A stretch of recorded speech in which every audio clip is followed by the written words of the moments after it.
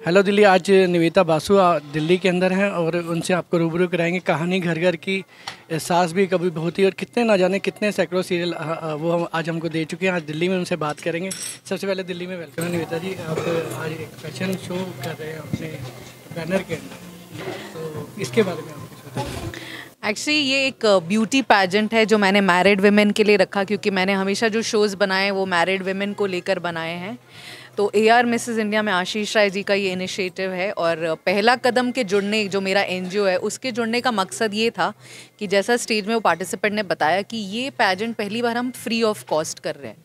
बहुत लोगों को रखा जाता है कि ये एक पैसा बनाने का पॉन्जी स्कीम है, जहाँ पे पैसा दे के लोग एंट्रीज लेते हैं। आपको पता नहीं उसके बाद उसका क्या फ्यूचर है क्रेडिबिलिटी है। तो पहला कदम के जुड़ने का यही रीज़न था कि लोअर स्टाटा की औरतें भी जो हैं ड्रीम तो सब करता है कोई भी पैजेंट में आने का बट कई बार मीन्स नहीं होते हैं सपोर्ट नहीं होता है फैमिली का। तो पहला कदम यही चाहता है कि हर लड़की जो कुछ ड्रीम करे as an under privilege woman हम उसे वो प्लेटफॉर्म दे और इसीलिए ए आर मिसेज इंडिया के लिए मैं यहाँ पे आई हूँ। बहुत कम ऐसे टीवी पर भी हम शो देखते हैं कि जब जितने हमने देखा सिंगिंग शोज़ होते हैं, उसके बाद इतने पार्टिसिपेंट्स को आगे बॉलीवुड या जितने टेलीविज़न में काम नहीं मिलता है।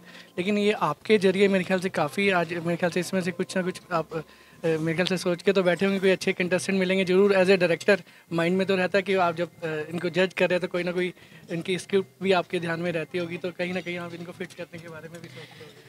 जी जी as a creator as a content writer हमेशा हम लोग ऑब्वियसली uh, हमारे जो लिखित में हम जो भी करते हैं वो ऑडियंस से ही हमें मिलता है। तो हर पार्टिसिपेंट या हर पार्ट ऑफ़ ऑडियंस जिनको हम मिलते हैं उनसे हमें इंस्पिरेशन मिलती है। और जी जो पिछले शहर हुए उनमें कई एक दो लोग ऐसे मेरे जहन में रह गए हैं जिनका कैरेक्टर मेरे माइंड में रह गया तो एज एन एक्टर या एज अ कैरेक्टर तो डेफिनेटली वो मेरे साथ फ्यूचर में लेके चलूँगी मैं उन्हें। मैम, दिल्ली के कई बच्चे ऐसा होता है कि डायरेक्ट चले जाते हैं, लेकिन वो गलत हाथों में पड़ जाते हैं, कुछ ना कुछ कॉम्प्रोमाइजिंग सिचुएशंस होती हैं दिल्ली की, खासकर लड़कियों के साथ। लेकिन डायरेक्ट आपके साथ मिलना हो तो वो किस तरह से कांटेक्ट कर सकते हैं वो, जो हमारे दिल्ली के देखिए एक्चुअली मैं अकेली नहीं हूँ। वो गलत जो चीज़ें हैं, वो ऐसा नहीं है, सिर्फ़ दिल्ली में ही होता है बम्बई में भी होता है। वो हर जगह एक ही चीज़ है मतलब आपको हमेशा अच्छे और बुरे लोग मिलेंगे। बट जैसा कि आपको पता है, आपने आजकल क्रेडिबल कंपनीज़ हैं जो अच्छे काम कर रही हैं। आपको डायरेक्टली उनसे कांटेक्ट करना चाहिए। होता क्या कि बीच में कोऑर्डिनेटर्स आ जाते हैं, गलत क्लेम्स करते हैं कि आप हमें इतना पैसा दीजिए, आप ये करिए तो हमें काम मिलेगा। मुझे लगता है टैलेंट अकेला एक चीज़ है जिससे आपको काम मिलता है। टाइम लगता है, आपने इरफान जी को देखा, पैंतीस में उनको पहला अपना ब्रेक मिला, नवाजुद्दीन जी को देखा, जिन्होंने इतने साल लिए। बट अगर आप अपने पैशन में जुटे रहें और कॉम्प्रोमाइज़ नहीं करें ज़रूर उसमें टाइम और पेशेंस लगता है। इसीलिए मैं कहती हूँ कि ये एक पेशेंस का गेम है। अगर आपको मीडिया में रहना, आज इतना कंपटीशन है, आपने देखा है जब हमने शुरू किया था तो हम लोग के सिर्फ़ वो आठ पर्टिकुलर शोज़ होते थे जो बहुत टॉप में होते थे। अब दस तो जी सी चैनल्स हैं। दस में एटलीस्ट दस शोज़ चल रहे हैं। मतलब आप सौ टी वी शोज़ के साथ कम्पीट कर रहे हो। तो डेफिनेटली प्लेटफॉर्म भी है बहुत काम करने के लिए बट कंपटीशन भी उतना ही है पेयर प्रेशर भी उतना ही है। तो मुझे ये लगता है कि uh, सिर्फ़ मैं नहीं उनको सही चैनल से जाना चाहिए कॉम्प्रोमाइज़ नहीं करना चाहिए because I think talent only eventually wins कितना सेटिस्फेक्शन आपने काफ़ी मतलब टैलेंट को निकाला है काफ़ी लोगों का कैरियर भी बनाया है। अभी इस एज पर आके कितना सेटिस्फेक्शन है कि मैंने कितने बच्चों को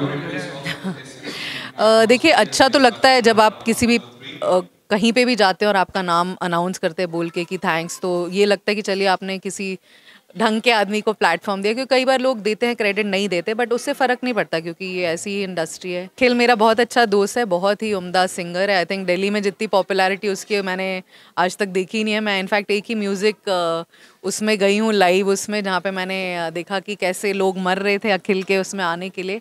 इसीलिए जब मैं दिल्ली आ रही थी, मेरा सबसे पहला रीज़न था कि अखिल को लाने का बिकॉज़ जब आप टैलेंट राउंड में आते हैं तो आप देखेंगे एट्टी परसेंट लोग गाना या डांस ही करते हैं।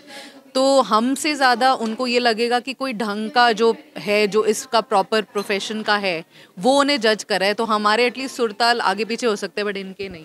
नहीं मैं बताना चाहूँगा ये इनके सुरताल मुझसे ज़्यादा सटीक रहते हैं। तो ये तो ना ही बात करें ये प्राइम मिनिस्टर भी बन सकती हैं सिंगर भी बन सकती हैं सब कुछ बन सकती हैं। मैं डरता हूँ इनके सामने। मोदी ये हैं ये हैं मोदी। हिंदुस्तान में वो I think she should be the next PM मुझे एक्चुअली मैं पिल बनाने वाला हूँ। नहीं नहीं।